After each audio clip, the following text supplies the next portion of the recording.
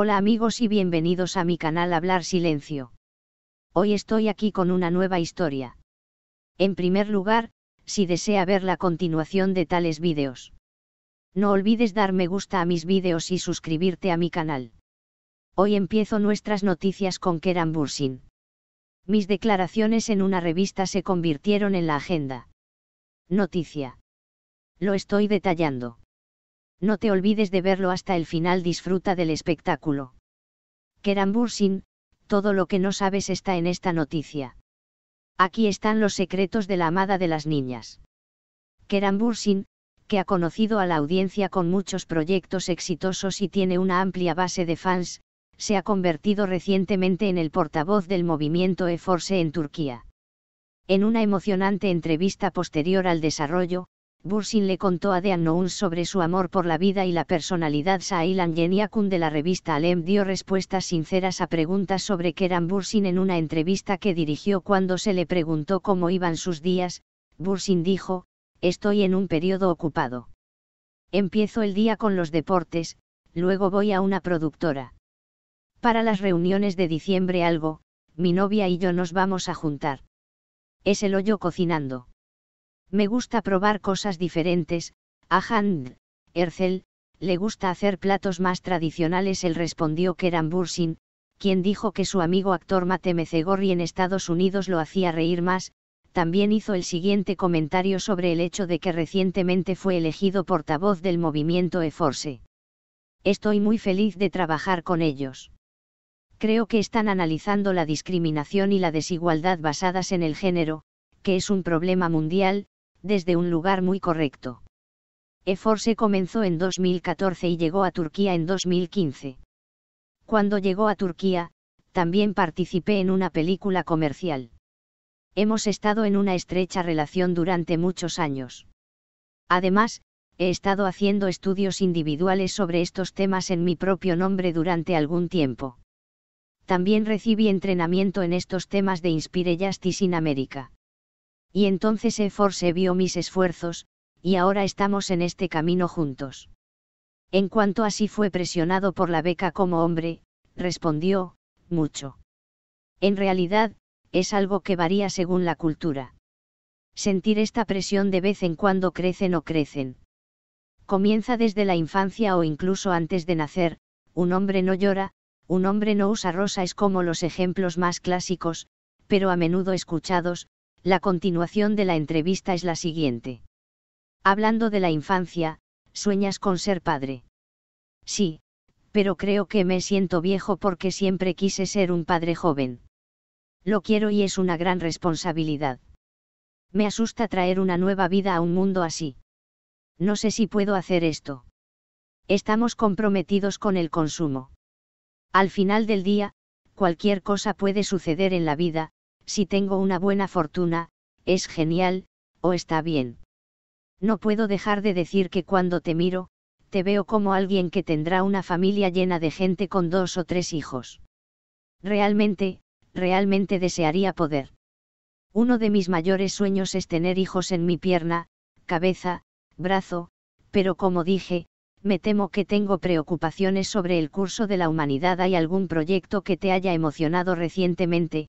E-Force realmente me emociona mucho, además, hay varios proyectos que estamos discutiendo sobre la actuación. Al mismo tiempo, estamos trabajando en varias cosas, en mi empresa. Estoy tratando de divertirme y poner en acción a de en quien creo ahora mismo. ¿Qué tipo de camino sigues cuando se te ocurre un proyecto? ¿Qué es lo que más te entusiasma? Él es el mundo del proyecto y, por supuesto, el personaje es muy importante para mí. Analizo el personaje desde un lugar personal. No quiero pasar tanto tiempo con una persona así. Porque lo veo como si estuviera empezando una nueva relación. Serás capaz de llevarte bien con esta persona, te cansará o te excitará. Estoy pensando en esas preguntas.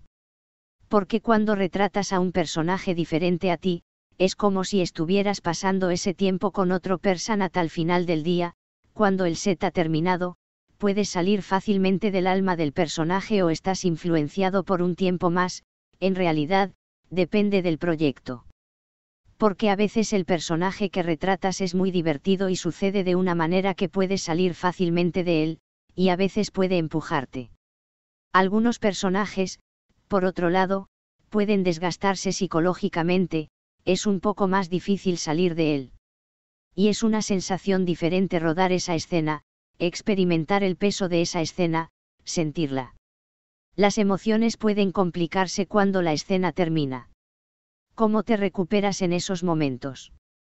La música se siente muy bien para mí, apoya muy bien mi flujo de emociones.